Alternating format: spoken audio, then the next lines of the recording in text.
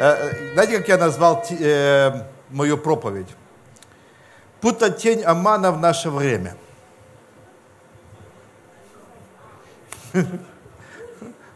Ну, интересно, правда, уже. Як ви б зрозуміли, зі шпілю Пурим це свято перемоги над геноцидом та злим планом Путіманом. Дякую. Ну, тут я згадав, що наш народ вже проходив цю долину смертної тіні. Правильно? І перемогли. Знал ли кто из них тогда, чем все закончится? Знаем ли мы, чем все закончится? Мы можем знать. Знаете, будущее делает нас либо уязвимыми, знание будущего, либо весьма нужно быть самоуверенными в чуде. Но есть немаленькое условие. Условие заключается в том, кого ты знаешь, кто может сделать это чудо. Как э, в истории Мардахая, он сказал одну интересную фразу из, фир, из Фири. Эм, если ты не пойдешь к царю, буду так кратко буду перефразировать, то помощь придет немножко с другой стороны. Ну а с тобой уже потом разберемся. Другими словами, он знал того, кто может в любом случае сделать изменения. И как кстати, сегодня еще Псалом 22 к празднику Пурим подходит. Нам очень это нравится, потому что наш народ уже прошел долина смертной тени, и не однажды, да, нас хотели убить, не однажды мы прошли и Освенцим, и, э, и другие лагеря, прошли и э, сталинизм, коммунизм, пройдем и путинизм. Амен. Я уже назвал это путамана. Да, путямана. Путамана, да? Давид пишет, потому что если Давид пишет эти слова, значит, он проходил это. Господь пастырь мой, я ни в чем не буду нуждаться. Он покоит меня на злачных пажитях, водит меня к водам тихим, подкрепляет душу мою, направляет меня на стези правды ради имени своего. И нам, когда мы читаем это, мы на восторге, мы поднимаемся наверх, к высотам, откуда приходит наша помощь. Вот эти места Писания, они вдохновляют нас. А потом идет фраза, которая очень важна на сегодняшнее время.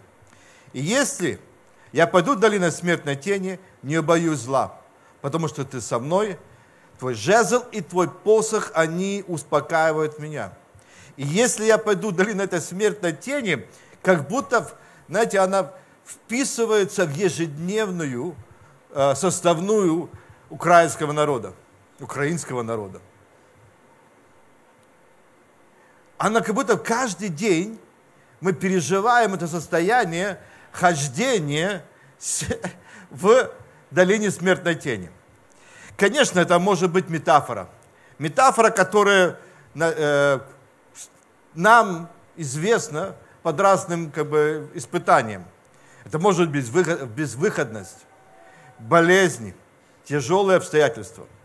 Я скажу так, что долина, долина для полководца – это не только смертная тень. Давид был полководцем, он был отважным полководцем, но также и место укрытия. Это место невидимого маневра к врагу и привал во время зноя. А Пурим как раз и праздник, в котором все это отражается. И страх погибнуть, и место укрытия. Пурим – это незаметный путь к врагу и защита в знойное время. Знаете, я много не буду говорить, но сделаю конец моей проповеди. Простыми вещами. События, описанные в книге «Сфирь», можно рассмотреть как Пурим в два этапа. Первый этап – это то, что произошло в месяц Сиван, когда вышел указ царя, который Божьему народу дал власть и право вооружиться, выступить против тех, кто хотел их погубить, то есть право защищаться. Это мы читаем в Эсфире, 8 глава, 17 стих. Потому что очень там интересное место есть. Во всякой области, во всяком городе, во всяком месте, куда только доходит повеление царя, и указ его была радость у иудеев, и веселье, пиршенство и праздничный день. Многие из народов страны сделались иудеями. Сразу переметнулись. Сразу переобулись. Может быть, обрезались. Одели кипу и быстро в синагогу. Потому что напал на них страх перед иудеями. Посмотрите, еще ничего не произошло. Еще не было атак. Еще не было, э, будем говорить так, попыток уничтожить э, евреев. Не было нападения на евреев. Вышел только один указ от царя, что могут защищаться. И знаете, что они сделали? Устроили сабантуй. Евреи сразу резко начали радоваться, веселиться, приглашать гости, пить, радоваться, то есть есть, потому что знали, вот тебе ответ от Бога. Мы можем защищаться. Мы будем защищаться. И этому есть радость, что мы сможем это сделать. Еще ничего не было. Еще, может быть, снарядов не принесли, орудия не поставили, а вышел только указ. То есть все согласились, что так и да, Украина, ты имеешь право защищаться. Так что мы вообще грустим? Вообще, я не понял. Чем мы грустим? У нас уже есть половина победы. Потому что знаем, откуда приходит помощь наша. Наша помощь приходит от Бога, который создал небо и землю, верха и низа. Если вы помните, Сирия пришла во время Ахава, э, второй раз, после того, как их дали по заднице немножко евреи, захотели за, захватить. И они сказали, пошли с новой э, тактикой. И говорят, так как их Бог, Бог высот, то есть э, э, мы говорим, э, Бог э, Вышний, Вышний Бог, да, так, вы, да, но у них не, нету Бога, Бога долин. И пророк поговорит, за то, что они говорят, что он, не, он только Бог типа верха, то есть вышних, но не Бог долин, скажи им, ошибаются, и за это отдам их в твои руки. Помните, да, этот момент? Второй как бы этап, я просто перескакиваю. Пурим произошел в, в, в э, месяц Адар, когда еврейский вопрос должен был уже реш, э, решиться. И это второй шанс. Шанс Пурима, где э, просит Эстер еще один день. Помните? Они, евреи уже имели победу. А здесь они просят, а, царь говорит, между прочим, что тебе еще дать, кроме вот того, что ты получила, твои люди получили? Она говорит, а можно еще повторить? Еще раз повторить. То, что было вчера А можно те земли, которые мы вчера отобрали, у врага, который у нас уже хотел застройку сделать от первой станции до девятнадцатой, мы только на восьмой остановились, а можно еще – от Дніпра і Кручів до, до, до, до Дону. До Дону. Не до Дон имеется там этот молдавский бывший президент, да, да, а не в ту сторону, а вот туда, на восток. И, да, не, Волгу нам не надо, нам, у нас Запорожец и то хорошо работает. Да, если поставить ему хороший двигатель. Да. Послушайте, Можно еще один шанс. Каждый новозаветний верующий в Духе уже царствует в этом мире, выйдя из-под тени смертной. И мы не обязаны поклоняться тени, потому что тень всегда пугает.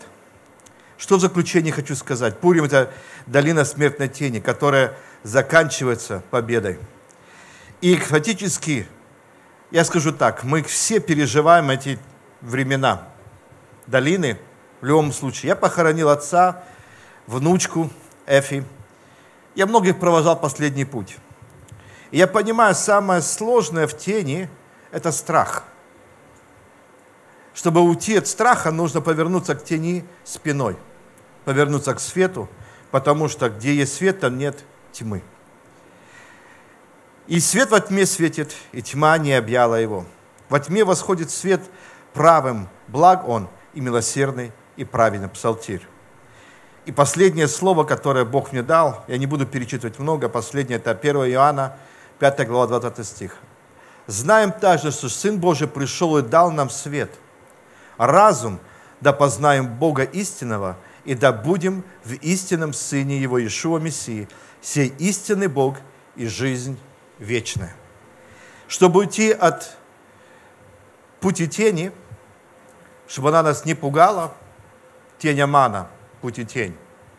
Чтобы мы не боялись того, что может идти ночью, лететь ночью, к нам приближаться страшно. Чтобы не пугались мы этой тени во время такого Пурима и фактически геноцида, нам нужно всем повернуться к свету. А Бог есть свет, и нет в нем тьмы. Поэтому мое приглашение очень простое. Во время сейчас поклонения, давайте мы помолимся Богу, как делал это Исфирь и весь народ Израиля.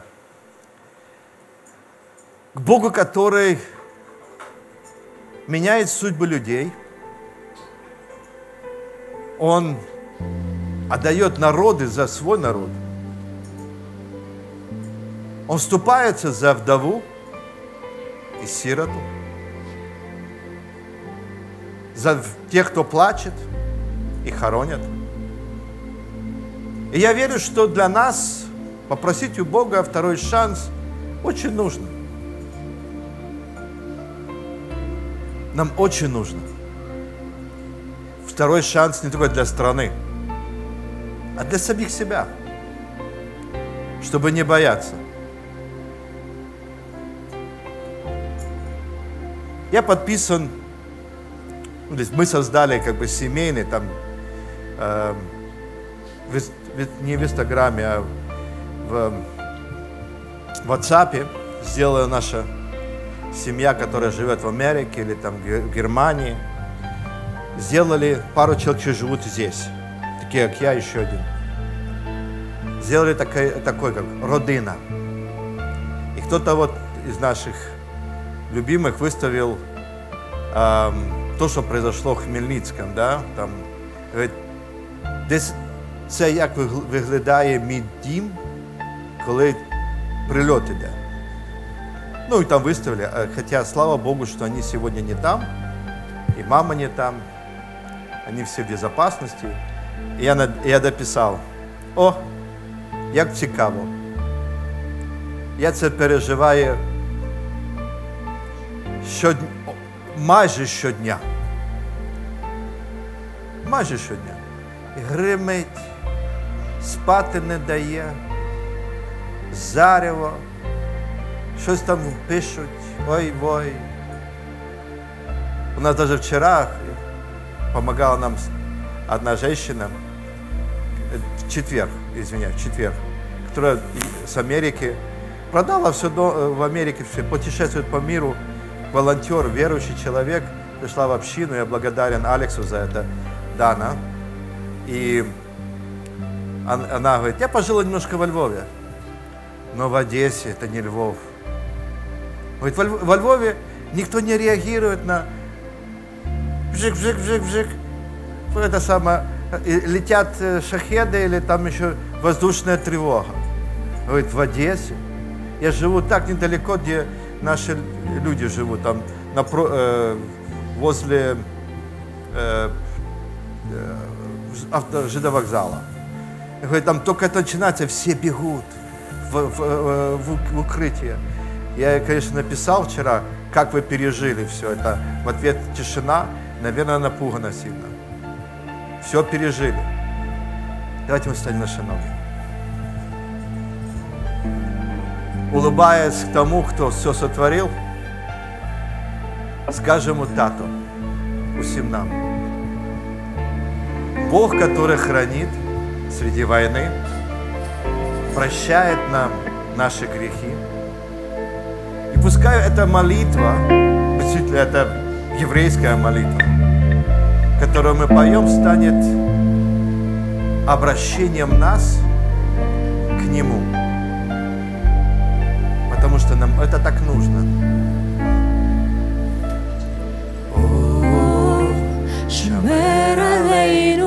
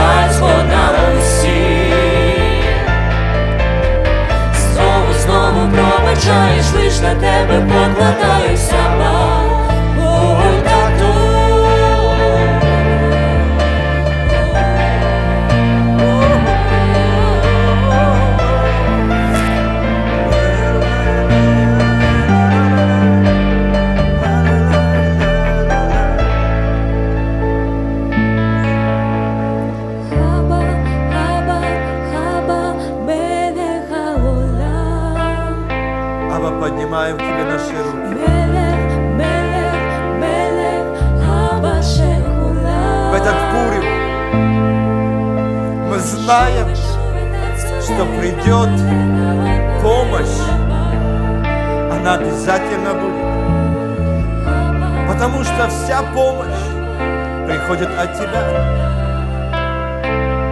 Мы полагаемся на чудо,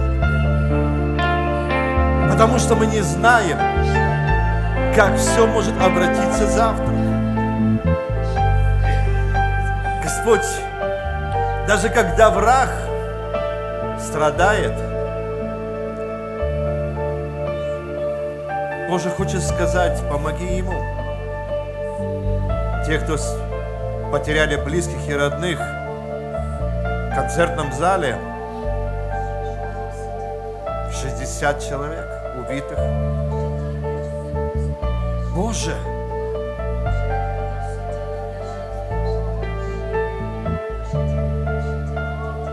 можно сказать, не жалеем тех, кто против нас, но, Боже, мирные люди. И, возможно, из многие из них хотели бы быть на украинской земле или бы на израильской земле. Но сегодня они не там, где должны быть. Мы молимся, Господь, за всю территорию, прифронтовую территорию Украины. Они не должны быть там, где они сегодня находятся. Израильский спецназ, Цехал не должен быть там, где они сегодня находятся. Аманы современного мира, кровопийцы людей, ужасом своим, своей тенью пугают народы. Но те, кто знают Бога, поднимут к Нему свои глаза, к свету, и знают, что это помощь от злого Амана – каким бы он ни был, но он кровожадный, не щадящий народы, не щадящих ни младенцев, ни стариков, ни больных, ни коллег, ни здоровых, ни молодых. Они не хотят не знать тебя, а свое иго распространить и свою власть беззакония на земли, которые не принадлежат, на людей, которые не принадлежат. И мы сегодня в молитве стоим за Украину, за Израиль, Господь. Мы просим, Господь, милости. Боже, мы просим благодати, мы просим защиты, мы просим победы, мы просим, Господь, радости для нас, Господь, что придет тот день, когда мы сделаем, Господь, праздник на наших улицах, веселиться и радоваться о Боге нашем, который даровал нам победу, которую мы не ожидали, путем, который мы не видели. Мы хотим просто радоваться, Господи, и делать анекдоты, делать песни, Господи, опять веселиться на наших улицах, Господи, потому что Ты милостивый Бог. Да придет Господь на наши улицы, свет, свет Твой, Господь. Уйдет всякая тьма, Боже, всякая печаль, всякое, Господь, беспокойство, и придет надежда, потому что она не умирает. Надежда всегда становится даже по последнего времени, Господь, до последних минут и секунды, Боже, надеждой, Господь. И мы благодарим Тебя, что она придет. Придет эта помощь. Придет, потому что у нас есть Аба. Аба, секулам. Аба, ты для, ты для всех. Аба. Мы благодарны Тебе. Пускай этот Пурим для нас станет еще одним поводом для молитвы и радости, победы и торжества. Мы поздравляем друг друга с победой. И тем Пуримом. Аминь.